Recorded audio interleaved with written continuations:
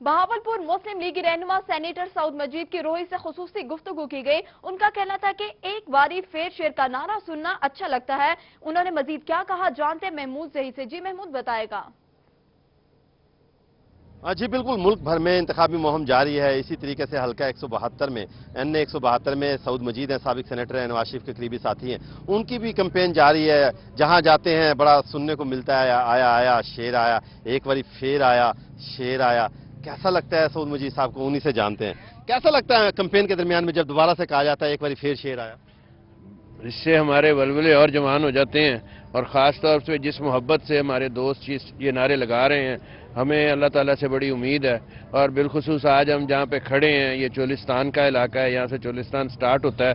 اور ان لوگوں نے جتنی محبت اس دفعہ ہمیں دی ہے ہم نے پچھلے پانچ سال ان کی خدمت کی ہے، ان کو چولستان کی الاٹمنٹ کرائی ہے، چولستان میں ٹوبہ جات کی کو ساروں کو جو ہے کھدائی کرائی ہے، بھل صفائی کرائی ہے ان کی۔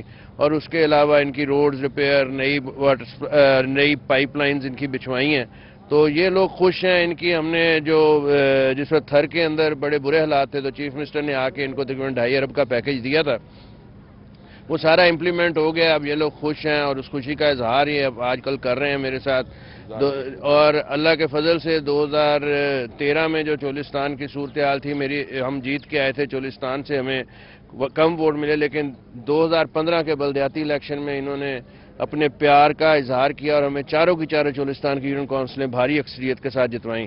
اور اب مزید یہ لوگ چارج ہیں، انشاءاللہ اب ہم توقع رکھتے ہیں کہ چولستان سے انشاءاللہ ہماری ساری لیڈ نکلے گی اور یہ لوگ ہمارے ساتھ کھڑے ہیں اور ہمارے بازو بنے ہوئے ہیں اور انشاءاللہ مجھے ان پہ امیدیں بھی ہیں، ان سے پیار بھی ہے اور ان کا پیار میں دیکھتا آیا ہوں، آج بھی دیکھ رہا ہوں، پہلے بھی دیکھا ہے۔ انشاءاللہ۔ جی۔ سعود مجید صاحب کا کہنا تھا کہ عوام سے جو محبتیں اور پیار مل رہا ہے، یہ ہماری خدمات کے عوض ہے۔ ہم نے اربوں روپیہ لگایا ہے چولستان پہ۔ ان عوام کی خدمت کے لیے ہم نے یہاں پر بہت سارے کام کیے ہیں۔ اس کے عوض یہ ہمیں پیار دے رہے ہیں۔ ہم ان کے ممنون ہیں۔ جی۔